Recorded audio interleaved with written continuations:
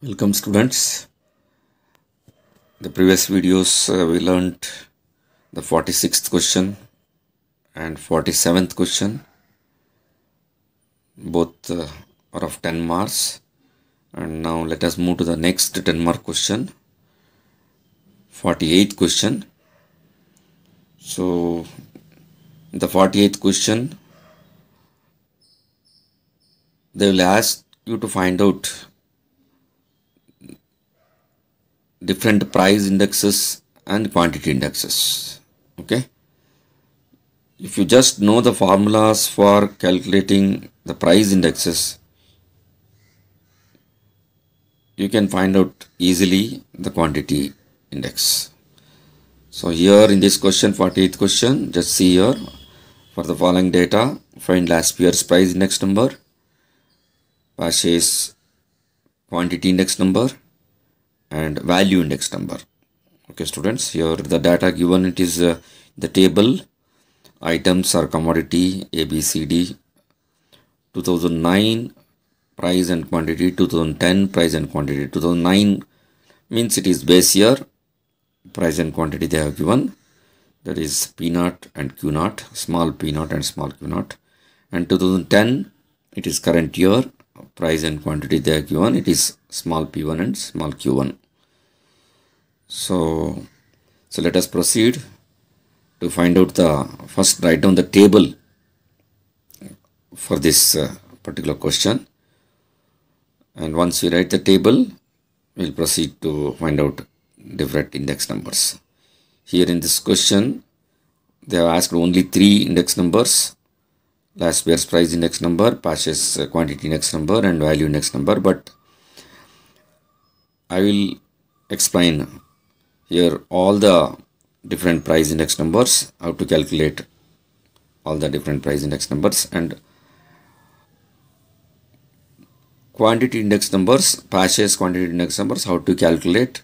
I will explain at the end of the solutions. So once you know how to calculate all the price index numbers you can easily calculate. You can write easily the formula for quantity index numbers and you can calculate okay students so let us uh, let us proceed uh, to find out the write that write down the table okay students okay students here uh, we are calculating your last year's Paasche's marshall edgeworth dorbish bowley's Fisher's price index and value index at the end Paasche's quantity index number. Okay. So the table what you are seeing here, the same table you have done already in the 47th question to calculate uh, Fisher's index number and uh, prove TRT and FRT. Okay students, same type of table you have to do here. The first four columns they have already given.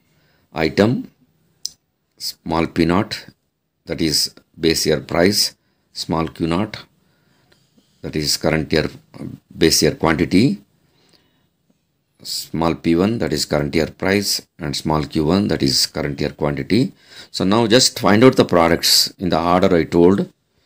Just in the in this order you have to calculate p1 q naught p naught q naught p1 q1 and p naught q1 in that order you find out the products. Okay? So find out the products and once you find out the products add those products and find out the summations. Okay then once you find out do this table. Okay. Once you do this table we'll proceed to find out the different index numbers one by one. So here in this particular question in the question paper they have asked only three index numbers. But i am showing here to calculate all the price index numbers and one quantity index number. Okay. And uh, let us proceed first let us proceed to calculate Laspeyres price index number. So the formula is p01l is equal to summation p1 q naught divided by summation p naught q naught into 100 so that is equal to 240 divided by 177 into 100 that gives us 135.59 minus 100 that is that becomes 35.59 increase you can write the conclusion the price is increased by 35.59 percent in the current year over base year. Then next is Paasche's price index number. It is uh, P01P is equal to summation P1 Q1 divided by summation P0 Q1 into 100. So the values are there. It is 276 by 229 into 100. That is that gives us 120.52. So less 100 gives us 20.52 incre percentage increase. So you have to write the price is increased by 20.52 percent in the current year over base year. That is what the conclusion you have to write. Next move to the formula. Marshall Edgeworth price index P01 ME is equal to write the numerator of the Laspeyres see there Laspeyres formula numerator is summation P1 Q 0 that you write your plus. Again numerator of the Paasche's. See here summation P1 Q1 so summation P1 Q0 plus summation P1 Q1 divided by again denominators of last year that is summation P0 Q0 that you write plus denominator of Paasche's price index number P0 Q1 okay? So into 100 so now substitute the values. 240 plus 276 divided by 177 plus 229 add it into 100 that, that is uh, add it 516 that by divided by 406 into 100 divide 516 by 406 you will get some decimal point. You multiply with 100 you will get 127.09 so when you subtract 100 you will get 27.09 percent. Increase you write conclusion. The price is increased by 27.09 percent in the current year over base year okay students so let us proceed further to calculate remaining price index numbers. So next is Dorbish-Bowley's price index number. So here it is very easy. The easy method I am showing here. If they ask you to find out Dorbish-Bowley's or Fisher's price index number, this is one of the easiest method. Just calculate Laspeyres price index and past price index and add both divided by 2 you will get Dorbish-Bowley's index number. So that is a formula. Okay so easy method. P01 db is equal to p01l plus p01p divided by 2 so substitute the values divided by 2 you'll get 128.05 so subtract 100 you'll get 28.0.5 that is a percentage increase you have to write the conclusion. The price is increased by 28.05 percent in the current year over base year. Same way Fisher's price index number also. Once you calculate last and price Paasche's you can easily calculate Fisher's price index number.